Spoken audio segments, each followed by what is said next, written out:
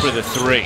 Here's Larkin blazing down court. A little too strong for Lopez, but Karasev nifty filling the space. And let's not forget we're talking about the Pacers. Lopez has had a tough time getting going. Still can't hit.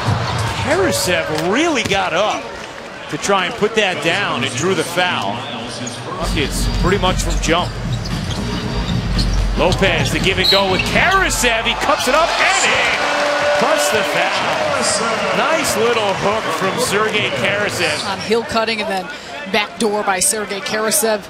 Exactly to your point, it's the understanding of where to go, where to be, how to cut. Karasev tees up a three. He got it. Sergey Karasev responds from the elbow.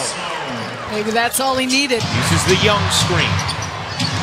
Pitter pattering the dribble. Young backdoor look. Karasev, the reverse. Karasev a season high, 13 points, three on three. What a look, Larkin to Karasev. And goaltender not, it goes in. You're high. He adds to it.